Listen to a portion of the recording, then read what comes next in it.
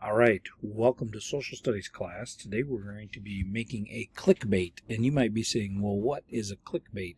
Well, clickbait is a text or a thumbnail link on the web that is designed to entice users to click on that link or follow that link. And they want you to read or view their content and then um, or listen to what is linked. So you can check more out on that at Wikipedia if you need more on that, but I think you'll get some some more information here. So here's an example of a clickbait.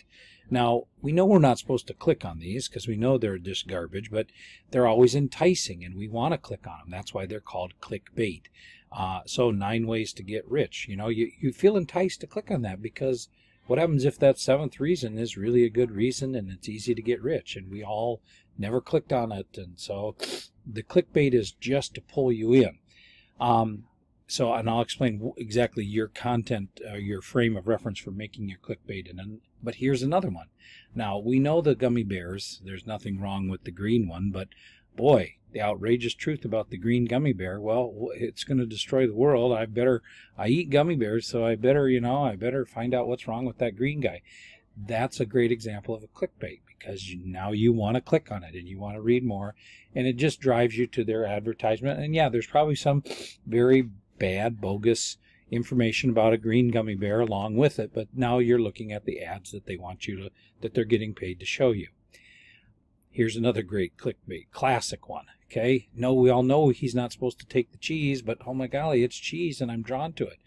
Don't do it. Don't click on it okay um, so here's one that I made, and this one is going to go right along with our, our unit because you're going to be making a clickbait as if you're trying to get convince the colonists uh, to come fight against the British because they did have to do some um, persuasion. So here I've got Washington crossing the Delaware, row our, row our way, 10 reasons to be a patriot. Click here to learn more. So that's an example of a clickbait. Here's another one, a little edgy. Uh, if you remember, Crispus, Crispus Attucks was the first martyr. He was the first person to die uh, in the American Revolution. Um, aren't you dying to be a patriot? Click to join. It's a little edgy, I warned you. Um, here's another one. Snowball fight got you down because if you remember, the Boston Massacre was just a snowball fight and uh, kind of an angry shouting match at the Redcoats, the Lobsters, and then they got nervous and they felt cornered by the colonists and they fired on them. So, snowball fight got you down. Click to join a winning side. All right.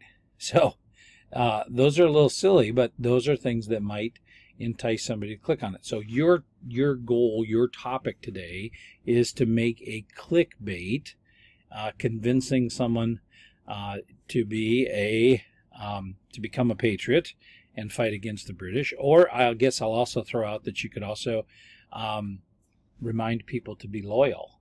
Okay, which uh, if if you've got any Hamilton fans out here, here's a here's a song from Hamilton, and then here's King George III. Remember to be loyal. All right, so. And when push comes to shove, I'll send a fully armed battalion to remind you of my love. Remember to be loyal or else.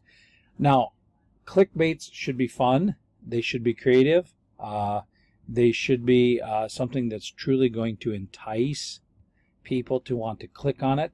And you're going to post these into a um, media album so that we can all see these and look at these. I'd like you to try to make two, post them both, and uh, and then we can have a, hopefully a good laugh and uh, see which ones entice us to click. All right, make your clickbait. Talk to you later. Bye.